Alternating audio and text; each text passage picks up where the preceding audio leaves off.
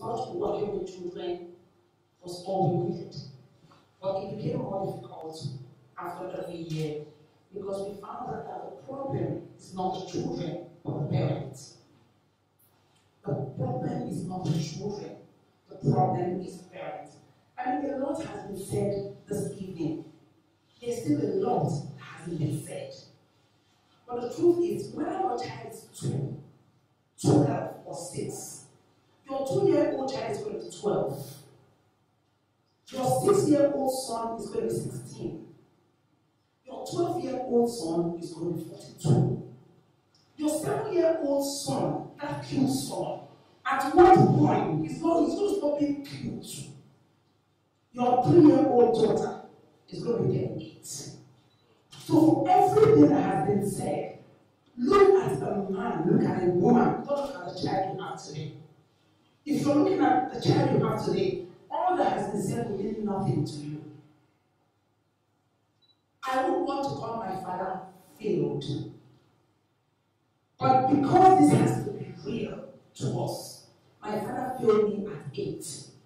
At 48, I'm 48. On my way back from the airport, just this January, I didn't even going to have this program, but all this all together.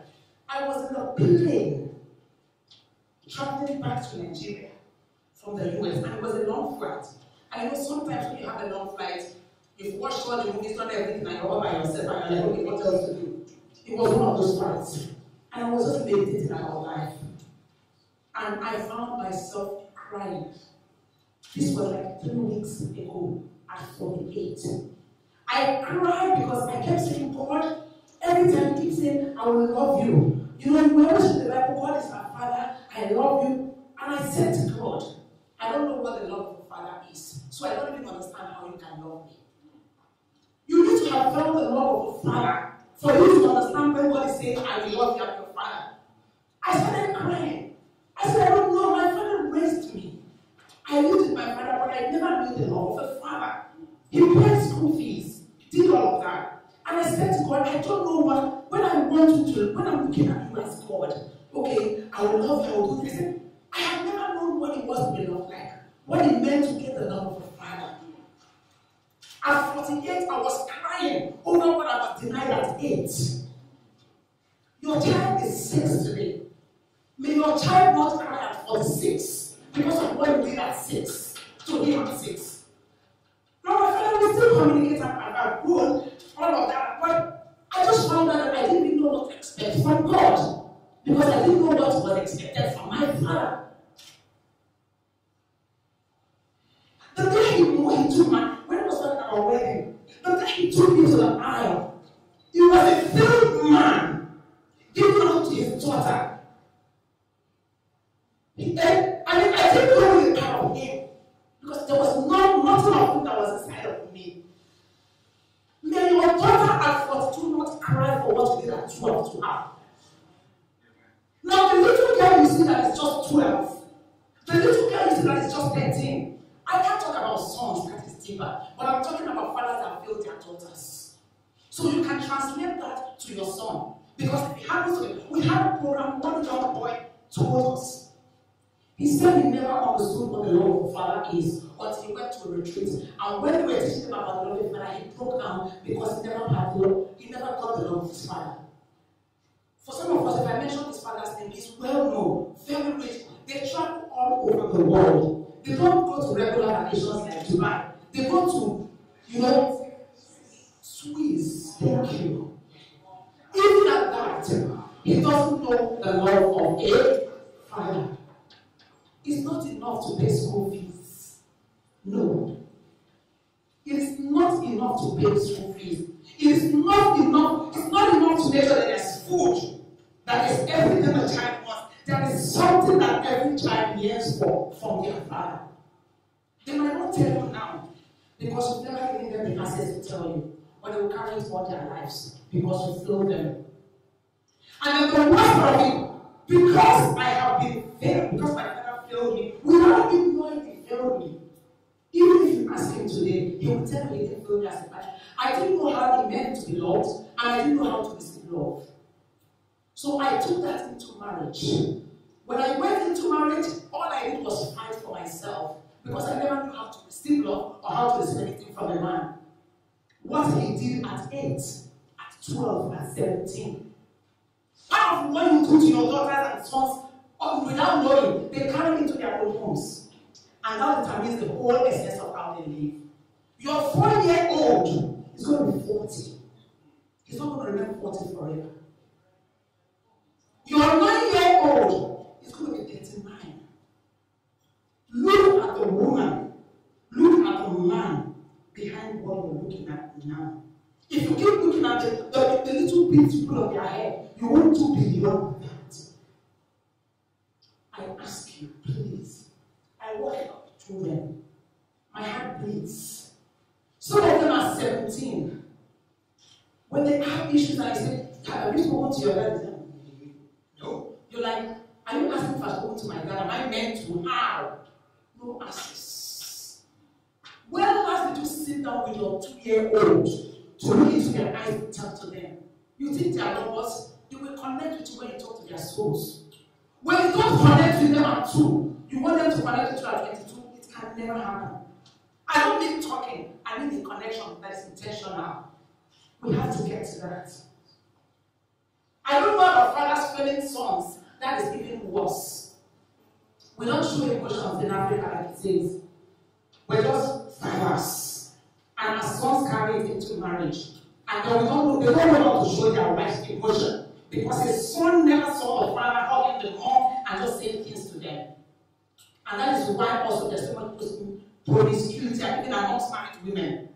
Because their husband don't show love physically in quotes, you know what I'm talking about. And then he continues. I'm begging us, please. Our fathers, it is not your fault that you're failing your daughters or you're failing your sons. But do you even know the worst? For some of us sitting here, we don't even know that we're failing. We don't know. For some of us, we're even angry that how can I? Yes, we are failing, but nobody tells you you're failing. I have not even to today told my father that he's failed me. My responsibility to my father, I still try to keep that. I do that. I mean, thank God he's doing well on his own. Once in a while, I go see him today. But every day, some of my friends that I met now, when they talk about their father, my dad this, and I wonder. I, I, I never felt that. For some of your children, you pay school fees, especially the very expensive school fees you pay now. It doesn't end there. Your daughters need to hear you tell them, like you said, I love. I never expected anybody to tell me I love you because I never heard from my father, so I never really cared. Even if you tell me I love you, I don't care. I don't. My friend tell, my friends say to me that you're too hard. I'm sorry. I tell them I, I, I don't feel emotions. Maybe it is part of that background. True or false? True. It is important to thank God for Christ. Because when I found the love of Christ, I knew I was complete. Imagine without the love of Christ, that would have been a broken woman inside. What happened at 8? Still at 48, I'm still carrying it. If not for God. Now, everything we're going to say here is going to be a total joke. Because we're going, it's not like we don't know what to do. The only problem is that we can't do what to do. Because something bigger than us has to enter us. If something bigger than us doesn't enter us, we can't do anything. Sometimes you hit your wife, not because you want to, but just because you have to hit her. Until something bigger than you enters you to restrain you. So every single thing we talked about today, love your family, love your children, go the extra mile, become the father, take the forefront. All of that we can say on and on and on and on, but it won't work except something happens. There has to be a change. There has to be a shift. Something greater than you has to enter you. What am I saying? Nothing can be done except from internal transformation. I'm not talking about church. I'm not talking about church. Nothing, nothing, nothing that has been a part of. For some of us, this is our foundational. This is all our fathers introduced us to. So we're just doing all we know. So many, my father probably never saw, never understood love. Us. I mean, you can't give what you don't have. A dead man can't to a living child. And for all the girls, maybe for all my other siblings, I don't know about them, but for me, it was about two weeks ago on a long flight from Qatar, in Qatar. You know, it's about 16 hours. That was when I understood. But something bigger than me transformed me at some point. For every man sitting here, I have someone more it, and I honor for every man sitting here, for every man sitting here, before you became a man, and before, gave you the, before God gave you a particular child, there is something inside of you that only you can connect with that child. The children I have today, I didn't choose them. God gave them to me because He knew there was something I could do with them. But if you are not ready, if you are not, if you don't have that capacity, the ones that are given to you might not fulfill the thing inside of them. I don't know if I'm communicating. As I wrap up, I was talking about transformation, something entry for you to change your present pattern. I have a before and after story. And what I asked God today, while we were preparing for this event, I said, God, for everyone that is here that needs an after story, give them an after story. Let God go ahead with this before. Let your children see an after by the time you leave here. Everybody that came to earth came to get wired beautifully for a specific assignment. Two of us. Some of us were very creative. Some of us were very intelligent. Some of us were very loving in different capacities. But the truth is, with the enemy and the fall of man, everything you brought to earth will be perverted. Will be what? Now, until something bigger than you enters, you can't go back to the original state. I am very creative. Now, this is just a story that's a digression, but I need to transfer it into a parenting so we can understand why we're doing what we're doing wrong and why we need to change. And why it's not something because people to say, like, excited. Okay, let me go and tell this girl I love her. Let her I love her. After, after two days, what happens? Please, that's a me. And the doctor is wondering, that I love you, was it in a dream or a joke? You're like, okay. Because in, in the next one, this is all over. Because you have bills to pay. Two of us. You have things to meet on. So this whole seminar will become a joke. Until something enters you, it will become one of those seminars. But I pray that it won't be such seminars in Jesus' name. I am a very creative person. Very creative. From heaven. Just like so many of us today. So many of us today are very loving. So many of us today are very intelligent. It all came from God. But perversion has trans it has moved it from what it was. Now, while I was in the why do you know why I'm saying the story?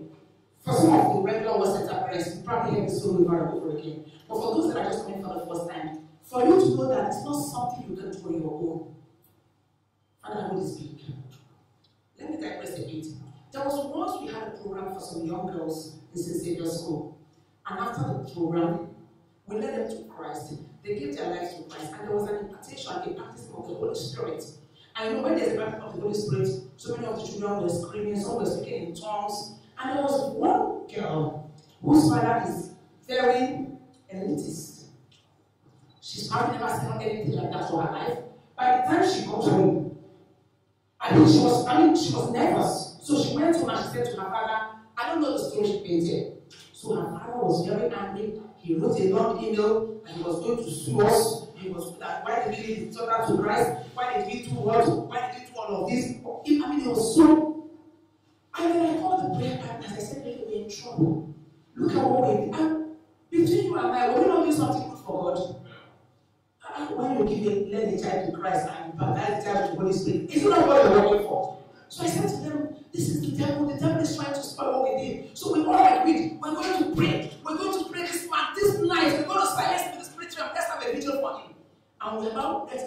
the vigil and planning. And while I was thinking about this, I had the Spirit of the Lord said to me, Go to that man and apologize. He said, We cannot give to a, man, a child what his father does not eat. This is not, this happened to me.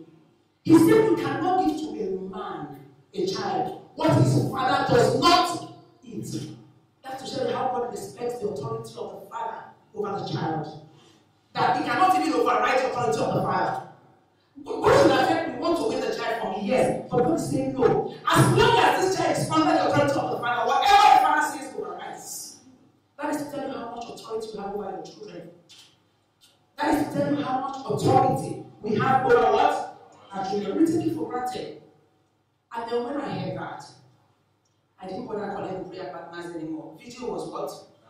What are you praying for? God is saying, Don't fight for me. There's no need for the battle. So I went by wisdom. I went to I sent him an email. Apparently, he's just, I had his daughter, his son, and my daughter were an older class. I used that as a privilege to get into him. And I came to his house. I sat down. I was explaining. She because that I should apologize. Everything the man was saying, I was saying, You're very correct, sir. Yes, sir. He said, I don't, he said, I don't even understand why people read the Bible. That the Bible is filled with sex. And this person entered this person. And this person entered this person. That is all nonsense. That his mother raised seven of them, and none of them that he should never open the Bible, and they're all doing well. That is where he is. God respects that. And as long as that child is under him, God respects it. And I said, everything you say is correct. So when we finished, I mean, because God has seen my heart and knowing that I was in trouble, in good, we made up and all of that. And he's just, mention so many people know him, he's an activist. So he said, when next we have a program for teenage girls, people call me, I talk about this. I said, in fact, the next program, I was saying to myself, once I leave this house today, and if I can just there, oh, seriously, you know, come, let me just leave this house. Everything was said. I said, sir, let me have your other number since you stay in Abuja. So I wanted to be sure that it was very, we, we had um, settled that I was not going to go to jail and everything, you know. By the time we finished, I spent 30 minutes in the house. He was lecturing me on why the Bible is not necessary. Is it that kind of person that you want to tell the child to read the Bible? You can't do that. And that's and if God can permit that. But until that child gets married, everything the father says, that is to tell you how much old you have by your children. That's the truth. So if you play with your 8 year old child, you're playing with the life of a 28 year old woman. You're playing with the life of a 38 year old woman. You're playing with the life of a 58 year Don't look at the 8 year old child. Don't look at the 12 year old child. Once they leave your house is over. For some of us, it's a different thing. Like I talked about being creative. And why we need something else for some of us fathers. Some of us fathers were loving, we're wired to love. But because the enemy has entered, instead of loving your family, you love everybody except your family. That the because you've been confronted. It's not your fault. You need something bigger than you to take you back to the original fault, to default. Am I communicating? For some of you, you're to love. When you go out, the way you talk about people, you, or when you come inside, everybody in your house hate them. Something is not right somewhere. I was, I am very creative. When I was in the University of Jos, do you know why I want to share this? So that we take time to pray. I don't want this to be one of these meetings. No, you could hear this anywhere. For any meeting you go to and you don't have an encounter, and something, look, we, over 500 people in Lagos, and you are the only ones here. It's not because you chose to come, it's because God drew you Himself. Yes, there's something He wants you to hear. And you never think you, can, you know it all. No, it's impossible. You can never know it all. No. Was school, we had clubs and organizations. We used to compete amongst each other which club was going to be more elitist. And we had a club that said Miss Unijos and a club that said Mr. Unijos and all of that. So my club was the one that organized Mr. Unijos. So we usually competed with the club that organizes Miss um. And how do you know the elitist club? The ones that want people to watch. The ones that want people to follow. You know, if it's now, they will say how many followers, but how many people came to your shows. And then when I got into that club that year, I said to them, You've been doing the same thing every year for your side attraction, doing this like religious. Let's do something different. And everybody started saying things, no, let's do this. Finally, I said to them, let's do a striptease. They said striptease. I said, yes. Now, before then, I have never in my life gone to a strip party. I have never even seen one live. It's only the little clips of what I see on TV. But where that came from, I do not know. But because I was wired with what? Creativity. Just like so many of us are wired for different things. Even wired for fatherhood. Am I communicating? But it's not properly used. So they said strippers. I said, yes. How are we going to get a stripper? I said, don't worry, I will find a stripper. This is somebody her parents sent to Jos to go to school. So I go, we got a cab. I and one other person that was bold enough, because not everybody was bold enough to go on that venture. But because, you know, if you're passionate about something, we're going from hotel to hotel, telling me, what is almost where I can or we can. We finally got a woman, a young lady who told her we were going her. Long story short, she came to the event.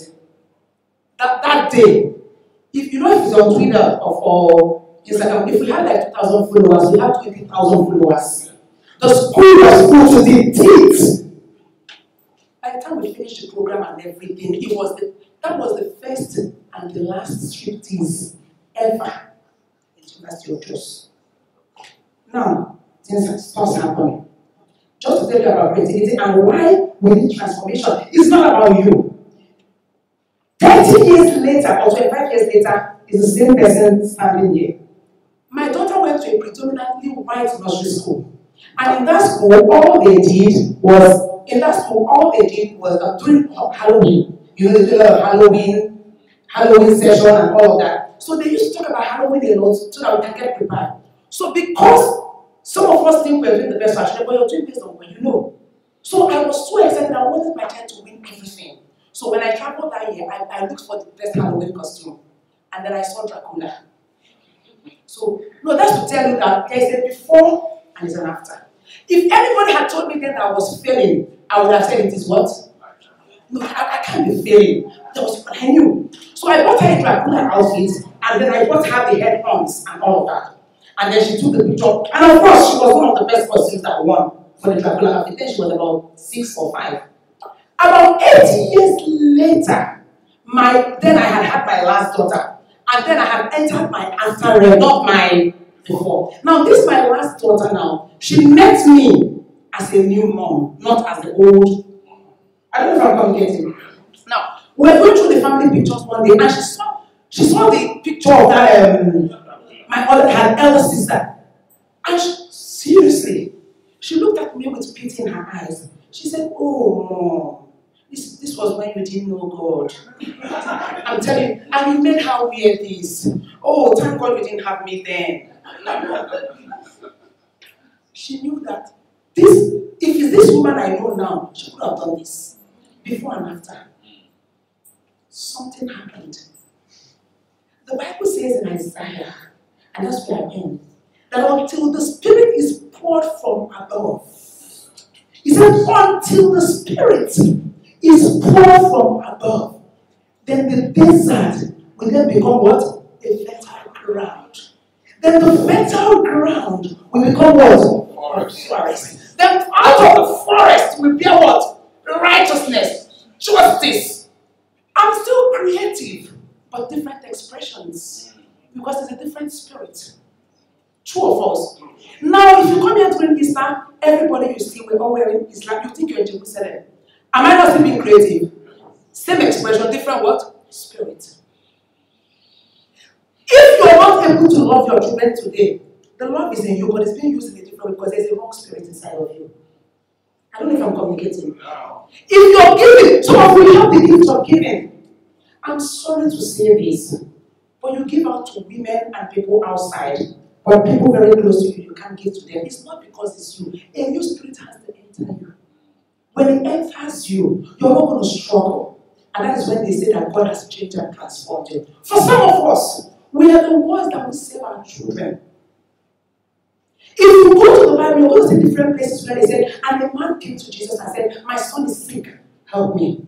Another man said, My son has epilepsy, help me. Another man says, My son has this, help me. Fathers were the ones that was always carrying their children to where? Jesus. Jesus. But now, we have fathers that have problems with the children. You can't even fight because there's no spirit inside of you. So many of us, some us have autistic children, it's all over in my neighborhood. I, I am also, I was a victim. My son, they declared him autistic at two to three years old. That is a story for another day. Until another spirit enters you can't fight. What should have been a temporal problem becomes a permanent problem for you. How? Because the spirit of you, you, you, you're to be a fighter, but you're fighting the wrong way. For some of us, our children are not doing well intellectually. You're supposed to fight to bring them to that level. Lesson teacher is not enough. You have to fight. in the spiritual and in the physical. But a dead man cannot fight. You have to come alive first. What is the state of your spiritual life as a father? You go to church and you come back on Sunday. Things will happen to your children in the spiritual realm. You can't see it. No! And you go to church. Do you know what is in my mouth? I can't say it. I want to just die. God said that can this happen and I will not show my friends. So many fathers before this happened. But you know what? You have relaxed a bit because the women are fighting. And then the women are getting tired. The women are getting tired. I want to believe that this is a Christian gathering. That's why you came. We have to fight. Some of our daughters, the daughter, your, your, your two, your two-year-old daughter is going to be 22. One day you're going to carry her and give her to a man. Have you seen that man in the spiritual realm? Have you seen that man in the spiritual realm? Father, you are giving your daughter. Have you gone to a place of prayer where you say, This man, I saw him in the spirit, go? But because he's the grandson of Lagbaja, God has to help us. I'm saying that what I'm saying is not for now. It's not, it's, I'm not talking about your daughter that is seven, or your 13 year old son, or your 15 year old son that is going to be 35. The children will get there because you know what? They're going to live all these years. But what happens when they are 35 years old? What happens now? When they are abroad, what do you do? So, has your results come out? So, what happened? Uh-huh. Okay, your mother will come to the exam. My father never came to my school one day until I graduated. But his school fees, he sent. Would it have made a difference? Yes, a lot. As I conclude, my, my time is fast spent, but I have the mic and I call this meeting. So no matter how much time you tell me, I will not. I have my time, but I have to. So that we can let, let there be closure. I want us to come here differently. Some of the little things that would have made a difference for me, and I know I'm talking as a daughter now, that will make a difference to many little things that if you can adopt. Have a picture of, you know, women are wired differently from men. Okay? If you do these things, even when she's in her husband's house, there's something about my dad. My dad. There's a connection. One, tell her you love her. I've, I've talked about it over and over, so let me leave that. Even if it's hard for you, I love you. He's not saying your face, it doesn't matter, just it. Like, you, you have to unlearn. I'm telling you. I almost cried when I said this talk because the emotion, everything came back again. I don't have to. Get a picture. Now, the same thing applies to your sons. But I'm talking about the daughter because I, I am, this is my, that's my shoe. Get a picture of your daughter. Like, put it in your wallet. Let her know Oh, this is your scripture, I carry it all around. And behind it, write a scripture This is the scripture I pray for you every time, even if you don't. I don't know if I'm communicating. Let her feel, if you give her that intentionality, by the time she's in nine, she's 19 and she's in school, she will always think, I know my father is praying for me. I'm not talking about general family prayer. You know that when you call and people are talking, you say, Oh, darling, this is my special prayer for you. I pray this for you, and I carry it in my wallet. It looks as if nothing happened, but you've opened a window that is endless in her soul. Those are the little things. The girl will be four. At 14, she's carrying that same thing. At 24, she's carrying it. Another thing you could do for them to connect, if you really want to love your daughters and you want them to connect with you, show love to their mothers. Please. I'm not saying this because I'm a woman. Even if you don't love their mother, because you're them, pretend just because of them, leave the woman, just pretend. Just because I want to, I don't know if I'm communicating. Because women are drawn to their mothers. If you despise their mother, they will not they will despise you. Please. Just for like say affirmative things about their mother in front of them. Intentionality. Another one, if you have a two-year-old son or daughter, I'm using to the simplest or 13, your children come back from holiday. Come, I've been having this problem with my friend. What do you think? Let her feel, let her feel you you desire her or his assistance. Am I connecting? Let, I mean, um, so many of the things I do with my children, I'm intentional.